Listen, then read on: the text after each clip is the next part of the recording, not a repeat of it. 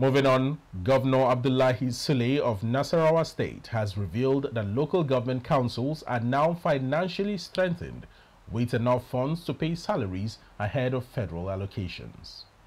Governor Sule, while speaking at the APC stakeholders meeting at the Aliu Akwe Doma Banquet Hall in Lafia, urged aspirants to exercise prudence.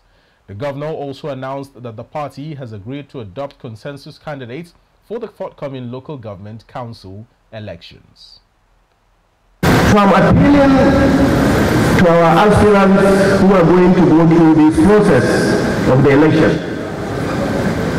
as you have all known and as was also confirmed by our national legal advisor, one of the constitutionally recognized methods of the primaries is the consensus. And locally, this has been adopted here in Nasarawa State from 2014. The current chairman that I know, since I was there, came through consensus. In fact, from 2018, they came through consensus. And that's why, that's when the FATA came. In separate remarks, former governors Senator Abdullahi Adamu and Senator Tanko Almakura emphasized the importance of the upcoming election, calling it the foundation for the 2027 elections and stressing the need for seriousness in the process. We must, whatever method we want to use for this election, we must all be together in it. We must avoid a situation in which we will start having accusations or allegations that it is Mr. A or Mr. Y that is forcing this to our throats. This is the party's stakeholder. Once we say yes here, our yes must be our honor. And nobody goes away from here and tries to canvass anything either than the consensus we agreed to adopt. The responsibilities that go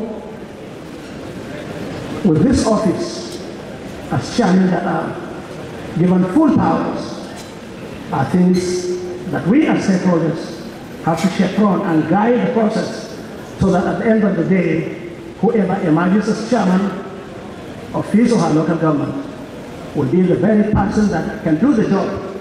Someone that has the prerequisites, the capacity, the competences, the maturity. That way, we will be putting a foundation for a local government that will add value to the well-being of the people of the South State.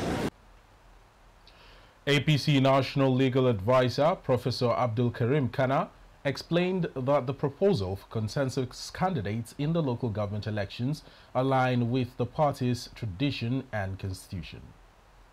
There are different procedures through which persons may be nominated to be, to be ticket bearers of the party. And one of those is by consensus. As we prepare for this election going forward, Your Excellency, and from the body language of the stakeholders here who have left everything they are doing to be here, it shows that everyone is prepared, everybody is ready and committed towards a successful completion of this process.